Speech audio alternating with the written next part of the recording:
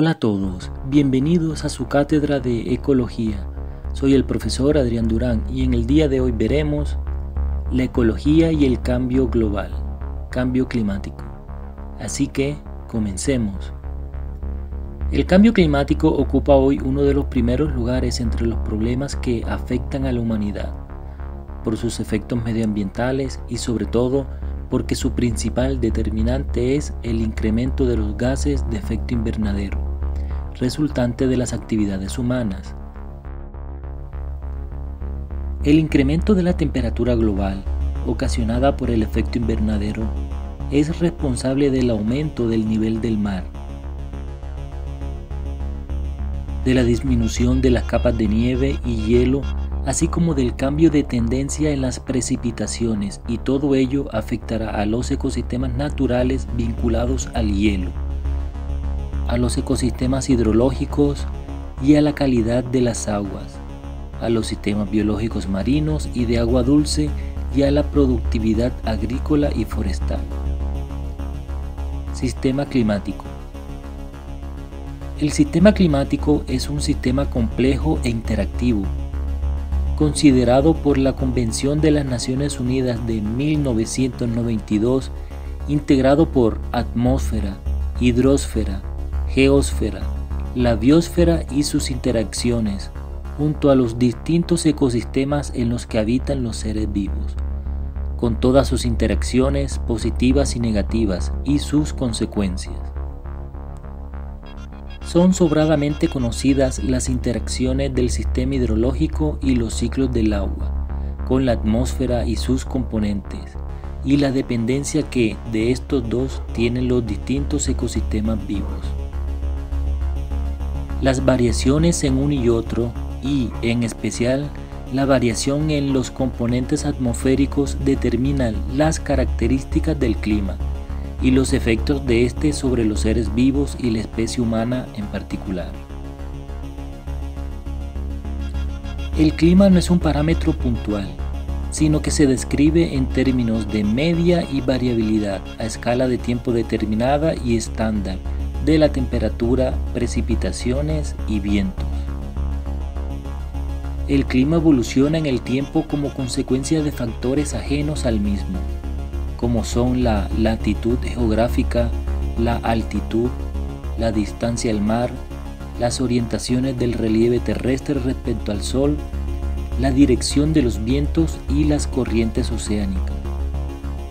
Estos factores y sus variaciones en el tiempo producen cambios en los elementos constituyentes del clima, como lo son la temperatura, presión atmosférica, vientos, humedad y precipitaciones, de forma que las fluctuaciones en el tiempo pueden ser consideradas como sistemáticas o caóticas.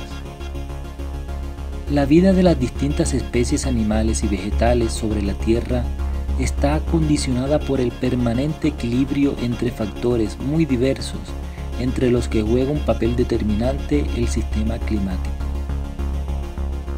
La influencia del clima condicionante de las características básicas de los distintos ecosistemas que conforman nuestro planeta sobre la especie humana, tanto desde el punto de vista cuantitativo, expresado en la evolución demográfica de la población, como cualitativo, manifestado en su contribución al mantenimiento y mejora de los niveles de salud, e incluso de la distribución geográfica de la población es conocido de antiguo. El clima mundial ha permanecido significativamente estable durante los últimos 10.000 años, proporcionando un escenario adecuado para el desarrollo de la especie humana. Y, sin embargo, hoy existen claros signos de que el clima está cambiando y el cambio climático es uno de los retos más importantes a los que debe enfrentarse una humanidad globalizada el Grupo Intergubernamental de Expertos en Cambio Climático llega a la conclusión de que el calentamiento global producido desde mediados del siglo XX ha sido muy probablemente debido a la influencia humana. Las mejores previsiones auguran que con el aumento en las concentraciones de CO2 atmosféricos y de otros gases de efecto invernadero, la temperatura media mundial podría elevarse entre 1.8 y 4 grados centígrados a lo largo de este siglo, incremento que irá asociado a efectos potenciales en todos los ecosistemas y lo que es más importante, tendrá su repercusión en la salud de la humanidad. Especies invasoras. Las invasiones de especies biológicas constituyen uno de los problemas más graves que afectan a la biodiversidad a escala global.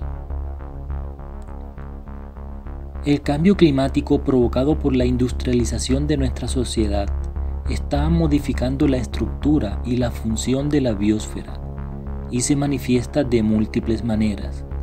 Además del calentamiento de la atmósfera y los océanos, los eventos extremos como inundaciones, sequías y olas de calor son cada vez más frecuentes e intensos. Las estaciones adelantan y retrasan y la variabilidad climática de las condiciones promedio sigue creciendo, tanto a nivel local como globalmente. Estos fenómenos están causando una nueva distribución espacial de los climas en la Tierra las especies tratan de adaptarse a los nuevos cambios en sus áreas de residencia y otras se dispersan en busca de su clima nativo. Ambas capacidades, adaptación y movilidad, definen su grado de vulnerabilidad y son la clave de que hay especies ganadoras y perdedoras ante el cambio climático. Las especies invasoras pueden adaptarse rápidamente a nuevos hábitats, con condiciones ambientales diferentes. Esto ha sido determinante para su éxito. Las invasiones biológicas originan dos problemas de fácil pronóstico. Aparición de nuevas relaciones ecológicas con sus correspondientes tensiones interespecíficas y el avance hacia una homogenización de la biota a mesoescala en todos los continentes, consecuencia medioambiental del proceso de globalización. Cambio en la distribución de especies. Considerando solo la línea de investigación de cómo afecta el cambio climático a la distribución de las especies, se ha generado un gran número de trabajos reportando observaciones directas de investigación de largo plazo, registrando los cambios en la distribución considerando los registros fósiles, o generando modelos de distribución potencial hacia el pasado o proyecciones hacia el futuro.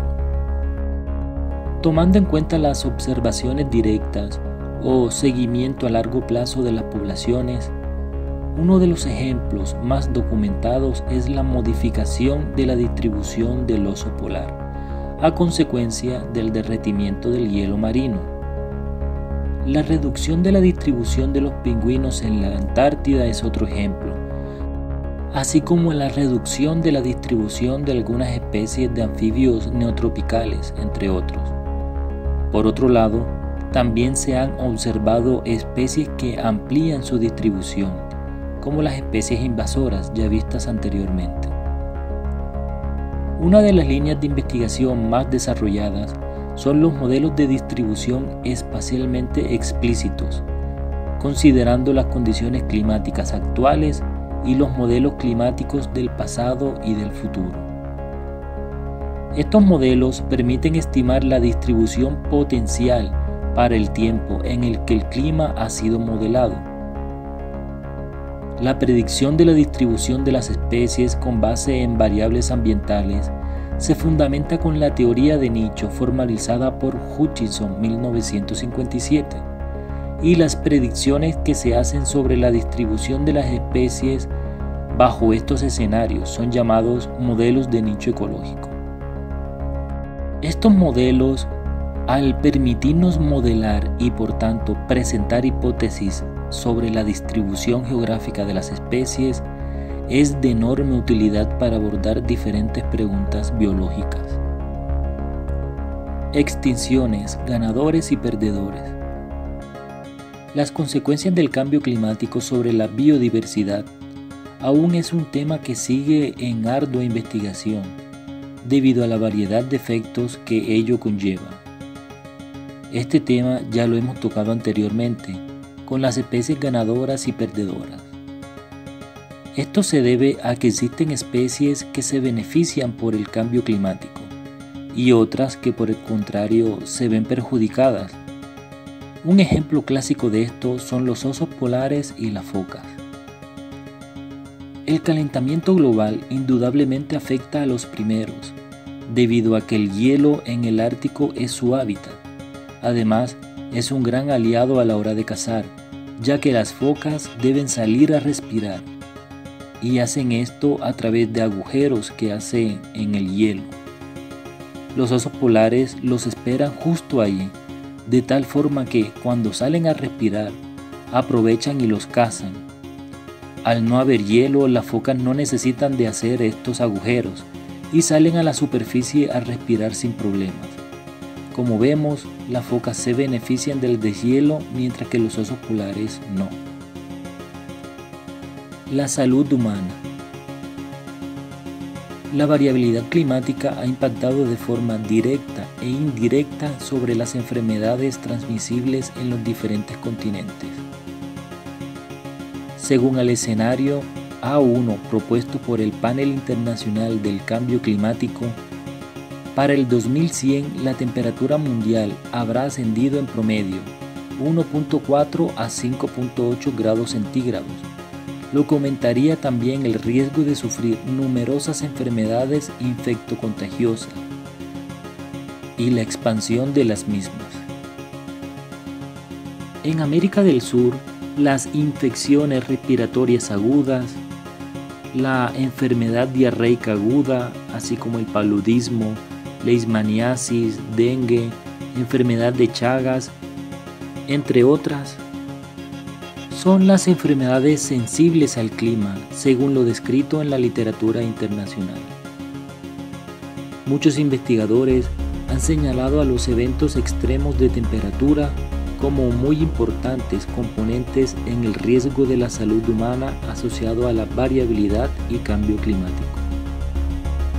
Las olas de frío y calor se relacionan con problemas hipertensivos cerebrovasculares, isquémicos y patologías respiratorias crónicas, las cuales causan un aumento en la morbimortalidad de las poblaciones más vulnerables, como por ejemplo los niños, las mujeres embarazadas y adultos mayores.